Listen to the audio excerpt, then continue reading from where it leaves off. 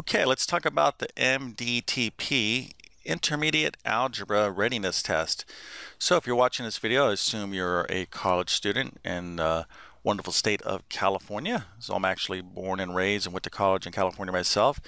So uh, California uses this uh, MDTP test, and there's different tests for algebra and intermediate algebra and just beyond. But it's a readiness test basically to see if you can place into this particular level of math in college. So um, you probably already know that. Uh, and you're studying for it, or you probably wouldn't be watching this video. Okay, so um, what we got here is a kind of a math practice problem, but I want to um, tell you a little bit about myself. My name is John. I'm the founder of TabletClass Math, middle and high school math teacher, and uh, done a lot in education for many, many years in mathematics. So um, I actually have a, a great, uh, really comprehensive test prep course for the uh, MDTP Intermediate Algebra uh, readiness test. I'm going to leave the link to that in the description of this uh, description of this video. But um, purpose of this video here is to kind of give you a little pop quiz. Okay, so intermediate algebra. Um, it's kind of like your college algebra readiness. Now, depending on your background, math background, you may or may not have uh, enough knowledge to solve this particular problem. So, but this would likely be on uh, this type of problem or, or, this level of math would you're definitely going to be learning this and you it could very well be on uh, the intermediate algebra uh, test so if you don't fully understand that uh, understand how to approach this problem you know, don't don't worry about it. But if you think you do, then certainly go ahead and try. And of course, I'm going to solve it. It's actually not that difficult if you know how to approach it. Uh, but with that being said, if you want to go ahead and pause the video and give it a whirl, that'd be excellent.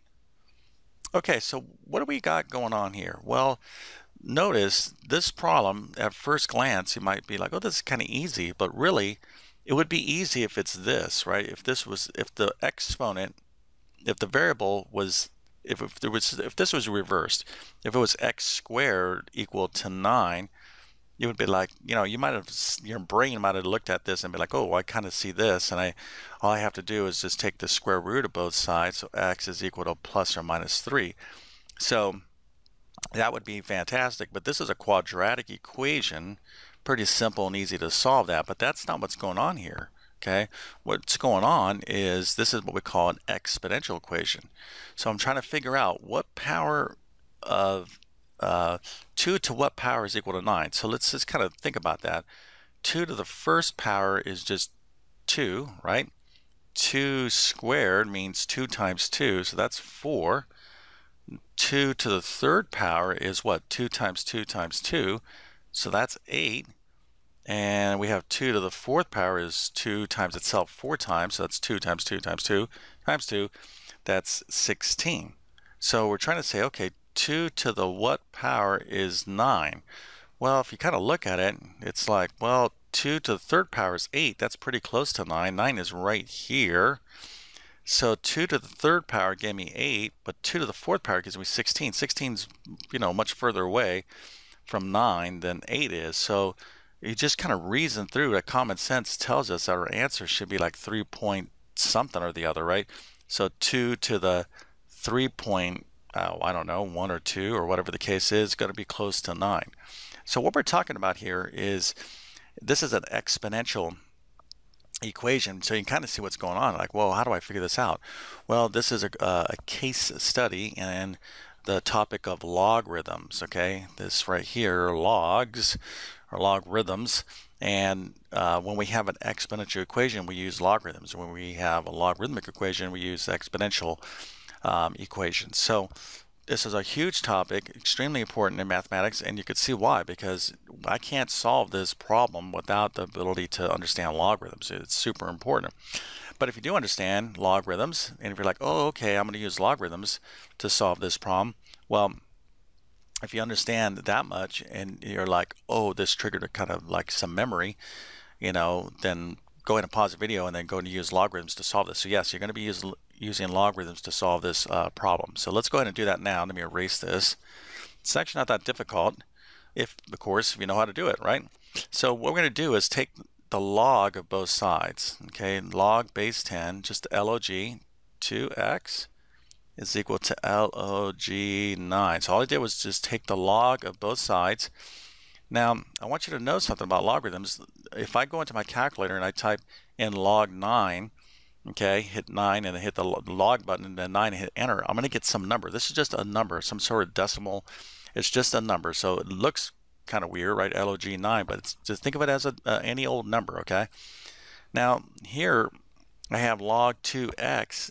I need to know properties of logarithms. It's a really important one. And there's an extremely important one here where I can move this x in front of this log 2. So now this is going to become x log 2 is equal to log 9. Now, again, log 9, log of any number is just a number itself. So I have another number here. So this is like a coefficient, right? So this is no more difficult at this stage of the problem, like say x times 4 is equal to 8. Okay, now I wouldn't write x times 4 this way. I would, I would write the 4, right? 4x is equal to 8. So if I gave you this equation, you'd be like, oh, that's super easy. I just divide both sides of the equation by 4 and I get my answer, right? So same idea here. To get x, I just divide both sides of the equation by log 2, right?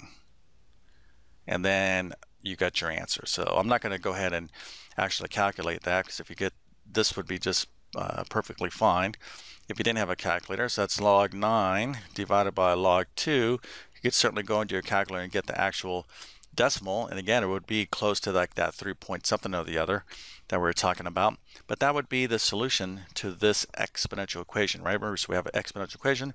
We're going to be using logarithms to solve that. And if you know what you're doing, it's really not that bad, right? So again, um, for the intermediate algebra level, you could definitely uh, very well be um, tested on your, your knowledge of uh, logarithms. But um, in my particular course, I cover this and a ton of other stuff that you're going to want to know and be ready for. And you want to be ready for this exam. You want to place into the highest level possible in college. You don't want to waste a semester or two in a course that you really didn't need to take because that's just time and money, you know, away. But you know, if you work hard to place into a course, I mean, two things, two good things are going to happen. One, you'll place into that higher level course, and two, by your efforts of studying, you'll do well in that course. Okay, so it's definitely a win-win situation, but um, you know, you're going to have to really work hard to do well on these uh, MDTP um, readiness assessments. Okay, so let's go and wrap up this video. Again, uh, I'm going to leave a link uh, in the description of this video to my MDTP Intermediate Algebra uh, prep course. Very comprehensive. I think you really, if you like my teaching style, you'll you'll really love my course. I've been on YouTube for over 12 years. I literally have hundreds of uh, videos uh, on my uh, channel. So hopefully you'll consider subscribing. It definitely help you out prepare for uh, this test. Hey, if you like this video, definitely appreciate a thumbs up and give me some feedback. What what college you're going to? You're going to a Cal State uh, school, UC school. I'm not sure if private schools in California um, use the MDTP, so I don't know about that, but any feedback would be good feedback. Um, with that being said, I will say this, you know, in college you got to work hard.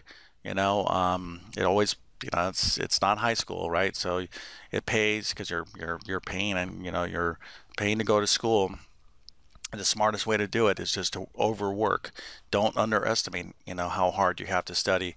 It's always the best strategy I find is, hey, listen, the harder you work, the more you kind of over prepare for things, the smoother things will go.